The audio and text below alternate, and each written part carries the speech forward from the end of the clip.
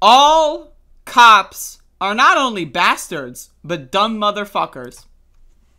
Florida sheriff looking to return $2 million in marijuana to rightful owner. Quote, very least we can do. So, folks, I know not many of us have calendars these days, but I want y'all to check your phone. And I don't know about y'all, but on my phone lock screen, right, you can see this here. This is my lock screen. It says Monday, October 11th. Now, last time I checked, and let me double check.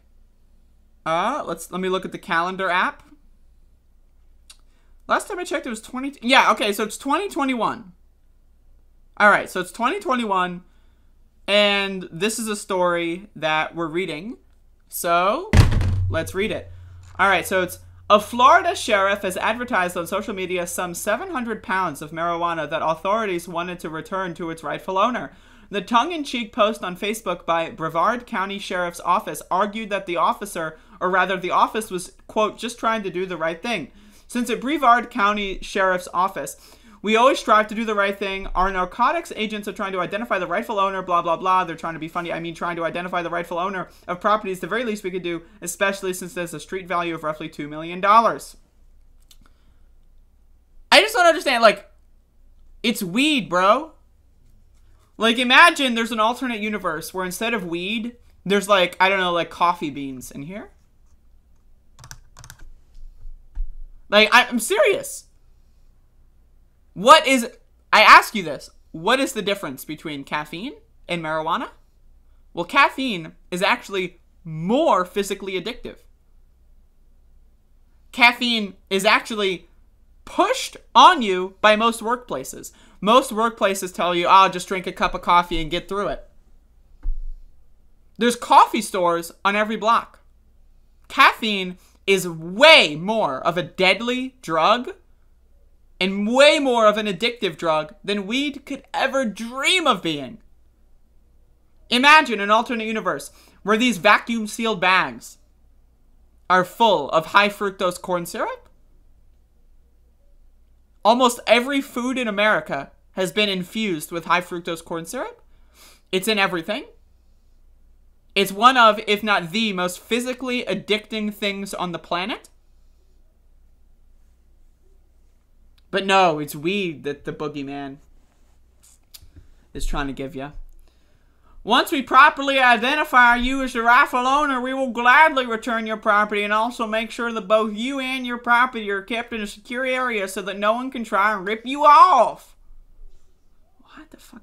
I've even offered a staycation for the owner to think about exactly how much your lost property means to you. What the fuck does that mean? The sheriff has made extensive use of social media during his tenure, the most politically incorrect sheriff in the county, using humor to engage the public. On YouTube, Ivey runs a number of joke programs to showcase various cases and aspects of his job, most notably the Wheel of Fugitive, where he spins a wheel of fugitives to determine the fugitive of the week. What the fuck? Ivey also encourages the fugitives to turn themselves in. He similarly has encouraged the owner. Like, I, they think this is funny. Like, I mean, I just like they think that this is like this is like wow, this is so funny. What a dumb fuck world that we're living in. I, I mean, like, this shit is so stupid here. Like, I mean, we are living in the twilight motherfucking goddamn. Like, imagine, right? Going in a time machine 500 years ago, right here where we live in Florida, North Carolina, wherever you want to, wherever you're at in the United States, if you're in the United States. And imagine telling, like, indigenous tribes, all right, so guess what? They're not going to believe this. So a bunch of people with super white skin are going to come over. They're going to literally kill all of you and your family, and they won't even let anyone smoke weed. Like, what? Like, again, like, let's go back 10,000 years. Right? Like, let's go back. Like, look at, like, throughout all of humanity, humans love drugs. Drugs are cool as shit. Humans have been trying to get high since the dawn of the world. Right? Like, look at alcohol. Why is alcohol legal and weed isn't? Because white people like it. That's the only reason.